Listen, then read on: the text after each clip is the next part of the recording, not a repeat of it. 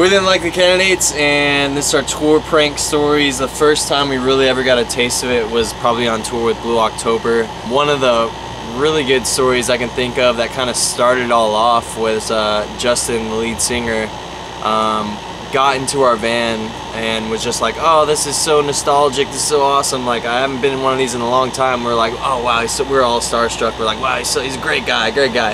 Anyways, we get down the road, we're like getting gas or something, getting trash out of the car, just cleaning up a bit, and we find one of his kids' dirty diapers underneath our seat. And uh, so everybody freaks out, and we realize that he put it in there obviously maliciously.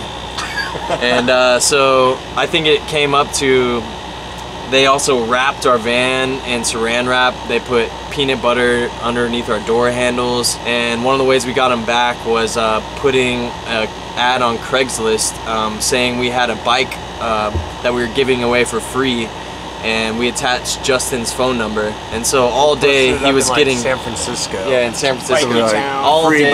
bike, San Francisco. It was, the All color day was you- October blue. Yeah. all day he was getting blown up by so many calls and he got so mad at us and that's what I think that's why we got saran wrapped in peanut butter and stuff. We also glued down their sharpies. Yeah. During their on the meet and greet, we, during their we meet and glued, greet. we super glued their sharpies to the table.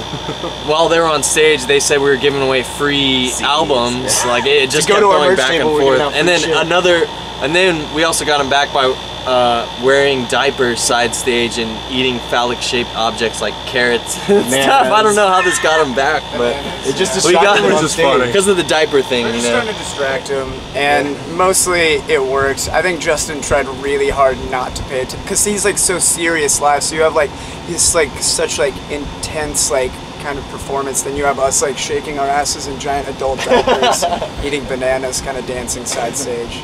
We got most of the members to break, so yeah, success.